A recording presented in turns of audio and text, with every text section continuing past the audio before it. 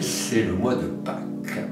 Et alors, euh, Pâques, ce sont des énergies profondes, presque impressionnistes, un petit peu comme dans la nuit, puis bien sûr la lumière. Le mélange des deux, comme dans la vie, sûrement.